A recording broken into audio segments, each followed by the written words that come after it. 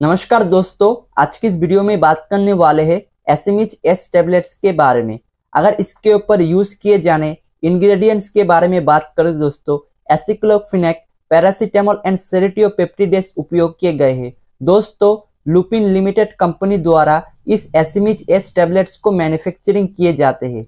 अगर इसके market price के बारे में बात करें तो दोस्तों 10 टैबलेट्स की एक स्ट्रिप आती है, जिसकी एमआरपी एक सौ के अंदर किसी भी केमिस्ट एंड मेडिकल शॉप में आप आसानी से परचेस कर पाएँगे।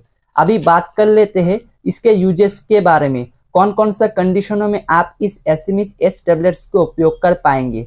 जैसे कि दोस्तों, ये एक पेन किलर टेबलेट है। बॉडी के अंदर किसी भी पेन में आप इस एसिमिच एस टेबलेट्स को उपयोग कर पाएँगे।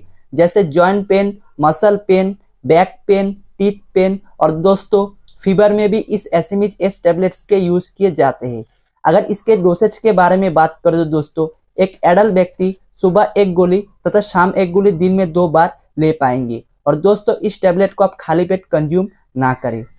अभी बात कर लेते हैं साइड इफेक्ट्स के बारे में। यदि आप इस एसिमिच एस टेबलेट्स को लेते हैं क्या क्या आपको साइड इफेक्ट्स देखने को मिल सकते हैं? तो दोस्तों, इसके तो ज़्यादातर साइड इफेक्ट्स नहीं है, लेकिन किसी किसी व्यक्ति को साइड इफेक्ट्स देखने को मिल जाती है, जैसे नोजिया वोमिटिंग दस्त, यदि इनमें से किसी भी तरीके का साइड इफेक्ट्स आपको इस एसिमिच एस टेबलेट्स को लेने का बाद देखने को मिलती है, इस टेबलेट को आप लेना तुरंत बंद कर दे और आपके नज़दीक किसी डॉक्टर से परामर्श करें। अभी बात कर लेते हैं प्रिकॉशन के बारे में। कौन कौन सा बातों को ध्यान में रखते हुए आपको इस एसिमिच एस टैबलेट्स को लेना है? लेते समय इसका एक्सपायरी चेक कर ले ओवरडोज इसे उपयोग ना करे और दोस्तों प्रेगनेंसी लेडी और ब्रिस्ट फीडिंग मदर को भी इस एसिमिच एस टैबलेट्स को नहीं लेना है। उम्मीद करता हूँ आपको S M H S tablets के बारे में संपूर्ण जानकारी मिल गई होगी। आपके साथ मिलते हैं नेक्स्ट में और एक न्यू मेडिसिन से रिलेटेड वीडियो के साथ।